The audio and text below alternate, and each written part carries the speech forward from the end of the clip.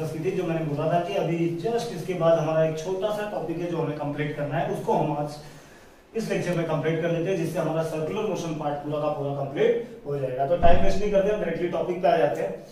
तो हमने find out हमने लास्ट लेक्चर में क्या क्या फाइंड आउट किया था कि velocity at point A velocity at point B velocity at point C मतलब टॉप मोस्ट पोजीशन पे वेलोसिटी कितनी होगी of the body of the particle and bottom position पे उसकी वेलोसिटी कितनी होगी और मिडवे पोजीशन पे कितनी होगी? तो टॉप मोस्ट पोजीशन पे under root R G bottom position पे under root five G R and midway position पे under root three G R, या फिर under root three R G.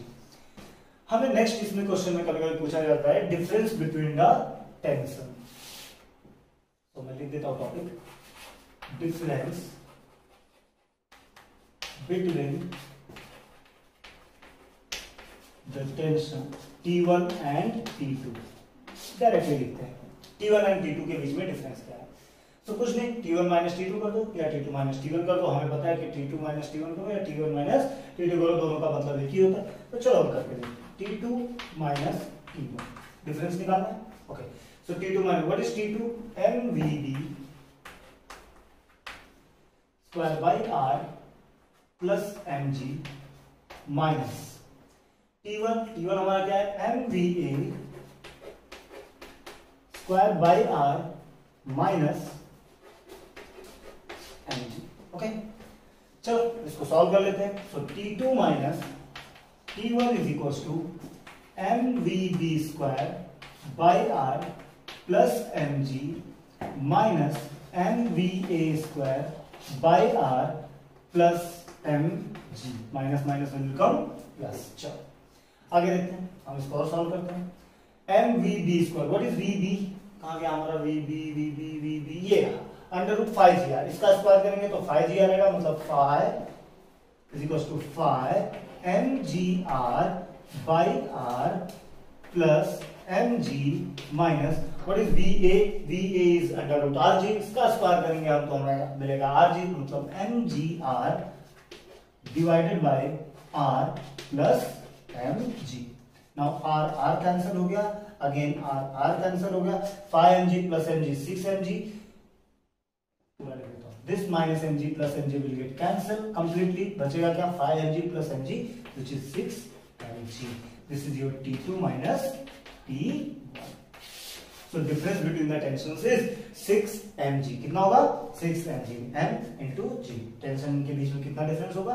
6 mg का mass into gravity multiply by 6 अगर आपसे question में पूछा जाता है, आपको बॉडी का मास दिया हुआ है और आपसे पूछा जा रहा है कि उनके बीच के टेंशन का डिफरेंस कितना होगा from top position and bottom position के टेंशंस में तो आप डायरेक्टली फॉर्मूला अप्लाई करो. T2 t1 is equals to 6 mg.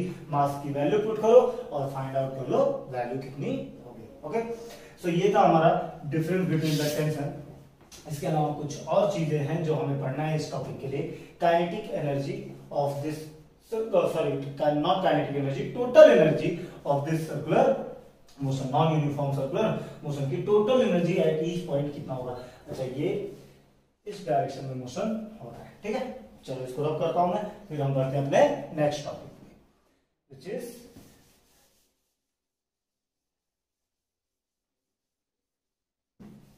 Total energy हमें बताना है। तो डायग्राम की ज़रूरत है हमें तो डायग्राम में यहाँ पे रहने देगा तो पहले हम फाइंड आउट करेंगे total energy at position A position A पे हमारी टोटल एनर्जी कितनी होगी? सो टोटल एनर्जी फॉर्मूला आपको पता ही है total energy at point A is what potential energy at point A plus kinetic energy at point A clear potential energy at point A A पे जितनी पोटेंशियल एनर्जी होगी और जितनी काइनेटिक एनर्जी होगी, दोनों को ऐड कर दो, आपको टोटल एनर्जी मिल जाएगा। So what is potential energy at point A हमने फाइंड आउट किया था 2 mgr लास्ट लेक्चर देखो, आपको पता चलेगा 2 mgr plus kinetic energy at point A कितना है हमारा? देखो, इसके इस, यहाँ पे हम देख रहे हैं आर हमारा कितना आर प्लस टू आर तो two M G R plus kinetic energy at point A half M V square half M V square but V कौन सा हमारा? A okay now let's start with the calculation two M G R plus half M V A square what is V A V A is under root R G जिसका square होगा R G so half M G R clear two two जो four plus one five five M G R divided by two जिसको हम लिख सकते हैं five by two M G this is your total energy at point अच्छा ध्यान सुनो। अगर मैं आपसे बोलूँ total energy at point B कितना होगा तो आप लॉजिकली अगर बताना चाहो, सिर्फ़ स्ट्रेट लाइन एक लाइन में आंसर तो आप डायरेक्टली बोलोगे सर सेम यही होगा. क्यों? Because total energy throughout the motion same रहने वाला। चेंज क्या होगा? Kinetic energy potential energy kinetic energy कभी पोटेंशियल एनर्जी में कन्वर्ट हो रही है, कभी पोटेंशियल एनर्जी काइनेटिक एनर्जी में। जब यहाँ से यहाँ तक का मोशन हो रहा है मोशन हो रहा है तो पोटेंशियल एनर्जी कन्वर्ट हो रही है काइनेटिक एनर्जी में। जब यहाँ से यहाँ तक का मोशन हो रहा है तो काइनेटिक एनर्जी धीरे धीरे कन्वर्ट हो रहा है। किसमें? पोटेंशियल एनर्जी में। ठीक है? मतलब अगर मैं बोलूँ तो यहाँ से ये जो फ़र्स्ट सेमी सर्कल मैंने बताया, बनाया हुआ, जो यहाँ तक का मोशन हो रहा है, इस मोशन में पोटेंशियल एनर्जी डिक्रीज हो रही है और काइनेटिक एनर्जी इंक्रीज हो रही है बट इस हाफ़ पार्ट में पोटेंशियल एनर्जी हमारी इंक्रीज हो रही है एंड काइनेटिक एनर्जी हमारी डिक्रीज हो रही है। So total energy at point B हम भी हम निकाल लेते चलो। Total energy at point B अगर हम total energy at point B निकालने जाए तो क्या होगा? Total energy at point B is equal to potential energy at point B plus kinetic energy at point B but अभी अभी जस्ट हमने कुछ चीज़ें पढ़ी थी। और उन चीज़ों में हमने क्या पढ़ा था कि potential energy at point B is zero देखो जरा यहाँ पे। हाइट कितनी है? ज़ीरो तो M G H height zero तो potential energy at point B is zero so अगर मैं वैल्यूज़ पुट करता हूँ so total energy at point B is equal to zero plus half M V B का square we B का square means हमारा velocity at point B so total energy at point B will be half M V B square V B हमारा कितना under root five G R square करोगे तो five ji are जिसको हम लिख सकते हैं total energy at point B is equal to five by two M G again हमारा वही आंसर आया। तो कुछ चेंजेस यहाँ पे नहीं है। सिर्फ़ वैसी छोटी छोटी चीज़ें हम देख रहे हैं। हम प्रूव कर रहे हैं कि हर एक जगह पे टोटल एनर्जी सेम होगी। नाउ नेक्स्ट अगर हम पॉइंट सी की बात करें तो सी के लिए मैं यहाँ पे इसको रब करता हूँ। आप लोग पॉज करके तब तक पूरा कंप्लीट कर लो। Okay so total energy at point यहाँ पे लिखता हूँ मैं। Total energy at point C ठीक है? सी पॉइंट पे टोटल एनर्जी कितना होगा? So total energy at point C is equal to potential energy at point C plus kinetic energy at point C potential energy at point C plus kinetic energy at point C solve करते हैं इसको। चलो। So potential energy at point C की अगर हम बात करें तो एम जी आर आपको पता होगा, आपने देखा था एम जी और यहाँ से यहाँ तक का डिस्टेंस कितना है? R now plus kinetic energy at point C half M V C का स्क्वायर ठीक है? नाउ नेक्स्ट आगे बढ़ते हैं। M G R plus half what is m v what is v c? Under root three R G square करोगे तो three R G आएगा तो m into three R G जिसको हम लिख सकते हैं M G R plus three M G R divided by two two M G R plus three M G R is five M G R divided by two जिसको हम लिख सकते हैं five by two M G R this is your total energy at point C total energy at point C total energy at point C total energy at point C total energy at point C this is also total energy at point C So ये तो थे हमारे, मैंने बताया था last lecture में कि बहुत छोटे से कंसेप्ट है, कुछ ज़्यादा नहीं है, हमें एक टोटल एनर्जी प्रूव करके बताना है कि हर एक जगह पे मतलब हम बोल सकते हैं energy throughout the motion conserve है। क्या है? कंजर्व है मतलब लॉस ऑफ़ एनर्जी नहीं हो रही है। जो एनर्जी चेंजेस हो रहे हैं, वो काइनेटिक पोटेंशियल में हो रहा है पोटेंशियल काइनेटिक एनर्जी में हो रहा है but total amount of energy throughout the motion is same वो हमारा क्या है? फिक्स्ड है और सेम क्लियर ओके तो अब छोटा सा एक पार्ट है, वो हम कंप्लीट करते हैं और उसके बाद हमारा चैप्टर एंड हो जाएगा, ठीक है? तो देखो इसको एकदम अच्छे से और वीडियोस पूरे के पूरे देखते रहो लाइक सब्सक्राइब करते रहो।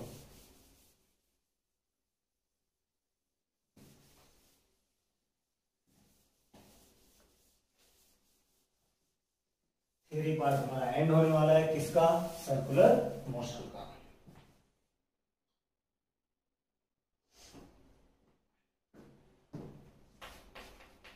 kinematical equation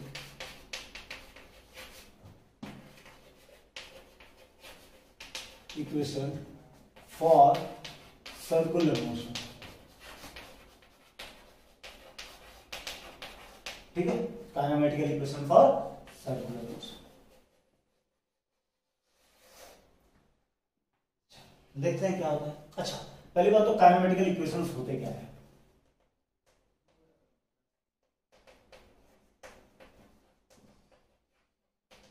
Kinematical equations for linear motion के लिए हम पहले समझ लेते हैं, तब हम देखते हैं लीनियर मोशन लीनियर मोशन में हमारा काइनेमेटिकल इक्वेशंस कौन कौन से होते हैं? फ़र्स्ट जो हमें न्यूटन ने बताया था, v is equal to U plus A T now next हमारा क्या था? Second s is equal to U T plus half A T square third v square is equal to U square plus two A S ये हमारे तीन equation थे किसके लिए? Linear motion के लिए। नाउ अगर हम सर्कुलर मोशन की बात करें यहाँ पे। अच्छा कुछ चीज़ें मैं यहाँ पे आपको फिर से बता दूँ।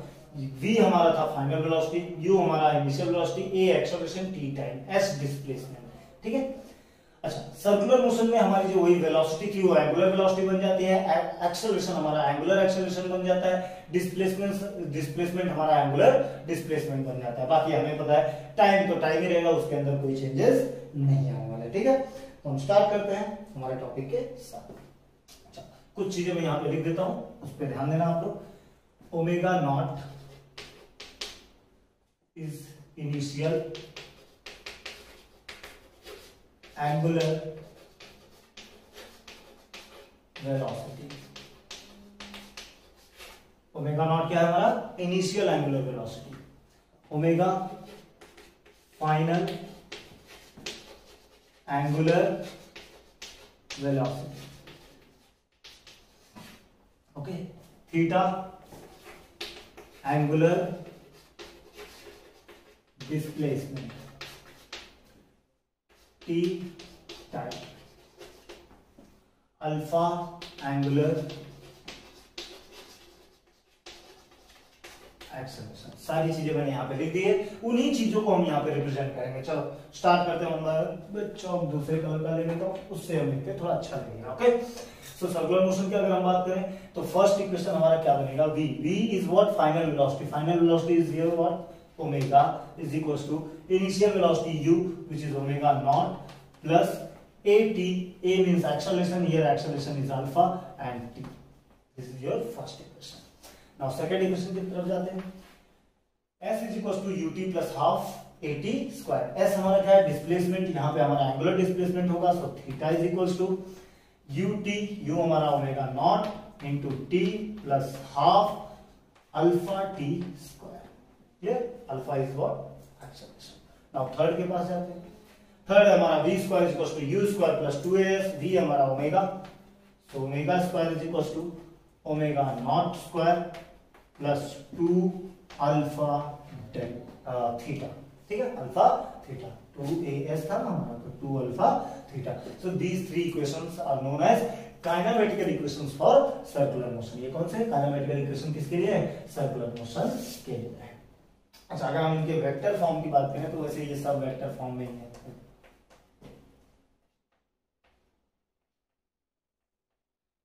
कुछ नहीं प्रेजेंट रिप्रेजेंट करना है, सिर्फ़ बार लगा दो, उसके ऊपर। यहाँ पे भी सेम वही काम कर दो। टाइम के ऊपर मत लगाना बिकॉज़ टाइम हमारी वेक्टर क्वांटिटी नहीं है, वो एक स्केलर क्वांटिटी है तो उसके ऊपर लगाने की ज़रूरत नहीं है। ठीक है? क्लियर हुई बात? तो टू अल्फ़ा थीटा तो ये रहा हमारा kinematical equation for circular motion and this is kinematical equation for linear motion ये तो आप बहुत अच्छे से जानते हो, क्योंकि आप नाइन्थ से पढ़ते आ रहे हो, पढ़ते हुए आ रहे हो। ये इसमें कुछ ज़्यादा चेंजेस नहीं है, बस खाली टर्म्स को चेंज कर दिया गया है। वहाँ पे हमारा एंगुलर वेलोसिटी था, यहाँ एंगुलर वेलोसिटी वहाँ एक्सेलरेशन यहाँ एंगुलर एक्सेलरेशन वहाँ डिस्प्लेसमेंट या एंगुलर डिस्प्लेसमेंट तो कुछ बहुत अलग चीज़ें नहीं है। वही चीज़ें हैं जो हमने लास्ट टाइम स्टडी की है, हमने जो इस चैप्टर में पढ़ा है। तो ये इसलिए मैंने यहाँ पे टर्म्स भी लिख दिए कि कौन कौन से टर्म्स के हमने यहाँ पे यूज़ किया है? To make these kinematical equation for circular motion तो यहाँ पे हमारा सर्कुलर मोशन का थ्योरी पार्ट कंप्लीटली एंड होता है। इसके बाद न्यूमेरिकल्स के पार्ट बचते हैं। तो न्यूमेरिकल्स जैसा कि मैंने बताया कि हम रोटेशनल डायनामिक्स के जब पूरे कंप्लीट न्यूमेरिकल्स करेंगे तो वहाँ पे मैं आपको सारे के सारे न्यूमेरिकल्स बताऊँगा। बट थ्योरी पार्ट हमारा यहाँ पे कंप्लीट होता है। थ्योरी पार्ट में अब हमारा कुछ भी नहीं बचा हुआ है। सो so, आज के लेक्चर के लिए सिर्फ़ इतना ही। इन द नेक्स्ट लेक्चर हम रोटेशनल मोशन की तरफ़ मुड़ेंगे कि व्हाट इज़ रोटेशनल मोशन क्या होता है उसके टर्म्स क्या होते हैं वहाँ पे किस सर्कुलर मोशन का कैसे लिंक होता है और कैसे कैसे हम मोशन बहुत सारी चीज़ समझेंगे बहुत ईजी है। इजी तब होगा जब आपको ये टॉपिक क्लियर होगा। अगर ये टॉपिक्स आपको क्लियर नहीं है तो ऑफकोर्स वहाँ पे आपको बहुत कुछ टफ होने वाला है, क्योंकि हम इनके कुछ फॉर्मूले वी इक्वल टू या ऐसे बहुत सारी चीज़ें हम उस चैप्टर में भी यूज़ करने वाले हैं। ऐसा नहीं है कि नहीं यूज़ करने वाले तो बहुत सारी चीज़ें हैं जो तभी तो आपके दोनों चैप्टर से एक साथ लिंक्ड है in rotational dynamics circular motion plus rotational motion जिसमें से हमारा सर्कुलर मोशन का पार्ट पूरी तरीके से कंप्लीट हो गया। Next part is rotational motion जो हम नेक्स्ट लेक्चर में स्टार्ट करेंगे। तो गाइस वीडियोस को देखो, एकदम ध्यान से देखो। कुछ डाउट आ रहा है, तुरंत पूछो। डाउट नहीं आ रहा है तो बहुत अच्छी बात है। बट डाउट अगर आ रहा है तो और भी अच्छी बात है। मुझे अच्छा लगेगा अगर आप लोग डाउट पूछोगे, आपके डाउट क्लियर किए जाएँगे। और साथ साथ चैनल को लाइक सब्सक्राइब भी करो। अपने दोस्तों में शेयर करो ओके ताकि उन लोगों तक भी वीडियोस पहुँचे जिन तक पहुँचना बहुत ज़रूरी है। और सब्सक्राइब करना बिल्कुल ना भूलें ओके ओके गाइस तो आज के लिए इतना ही। Thank you so much